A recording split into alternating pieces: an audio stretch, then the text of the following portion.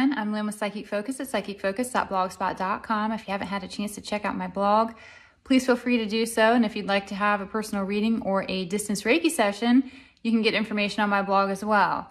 Also, please like my videos, share my work. It really helps me out. And now I'll get right to it here. The topic today is called Missing Film Group Atlantis TV. So the question that was sent to me was, Hi Lynn, I was wondering if you could do a focus on a missing U.S. film group in 2002 called Atlantis TV.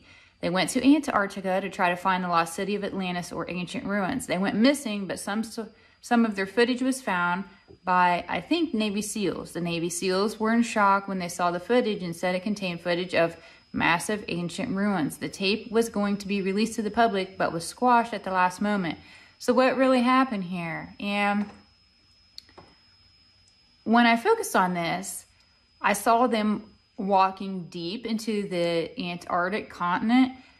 And then I had the strangest thing come over me. It was almost as if I was in some kind of Jumanji set. And if any of you have seen it, you know, they go to all these different times and have all these different experiences and th see things that we do not see typically in our current everyday now. And I felt like that's where I was. I was being taken to something that just had that foreign type of a feel to it. This TV crew, they're walking and documenting, and out of nowhere, animals they have never seen before started to emerge. I noticed many flying birds off into the distance. I wouldn't call it a Jurassic Park, it was seriously like a Jumanji set. The group was in awe. They were also confused, and I get that I saw something that looked a lot like a cross between an ostrich and a pterodactyl. And when you are not familiar with what you're seeing and you're just taking all this in, it was if they had this emotion of they didn't know whether to be scared, they didn't know whether to be excited, they didn't know whether to be happy, or maybe they had a hybrid of all these different emotions. It just it felt really confusing, but also in awe as you're looking at something that you've never experienced before. And I got that was very consuming, taking all these emotions in. The land, it looked beautiful. I actually see some areas that appear to be lush, not like a jungle, but they there was some greenery, which is not something you would typically attribute to being in the Antarctic area. But again, they actually made it deep within the continent here.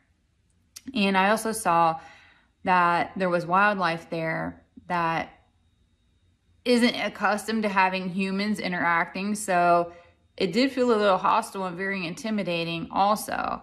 I get that the TV crews started to feel threatened by the habitat. They wanted to document what they could. I mean, imagine seeing something you had never seen. So yes, they want to take all the footage that they can.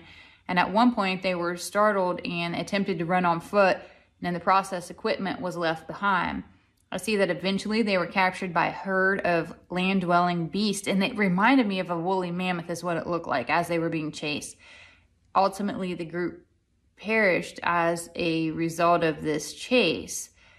So, what I really want to know is what is on these tapes? Why are they having such a hard time getting them and releasing them?